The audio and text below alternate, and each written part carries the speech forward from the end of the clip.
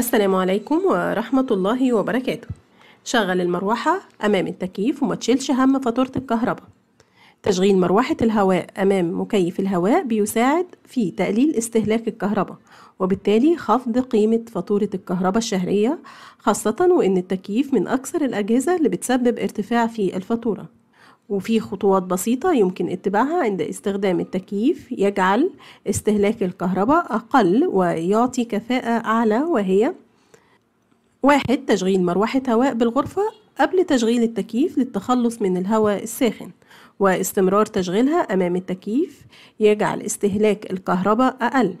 اتنين تشغيل تكييف الهواء على درجة 24 بيساعد في تقليل استهلاك الكهرباء. استمرار تشغيل المروحة أمام التكييف بيساعد على زيادة نسبة البرودة وإنخفاض استهلاك التكييف. أربعة التأكد من غلق كامل النوافذ والأبواب بإحكام لعدم تسريب الهواء. خمسة يجب أن تكون قدرة التكييف متناسبة مع مساحة الغرفة للوصول لدرجة التبريد المرادة في أسرع وقت بأقل استهلاك للكهرباء. شكرا والسلام عليكم ورحمة الله وبركاته.